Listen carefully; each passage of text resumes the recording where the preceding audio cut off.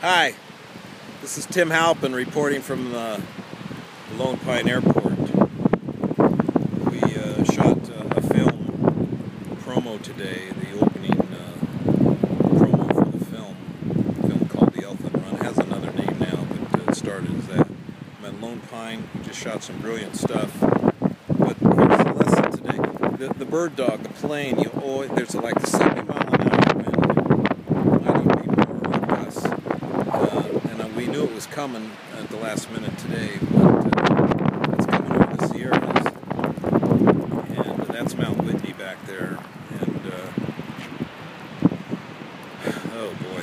Anyway, the point is, I, I didn't really plan what I was going to do with the plane. I thought I'd take off valley route. Tried to convert to the pickup truck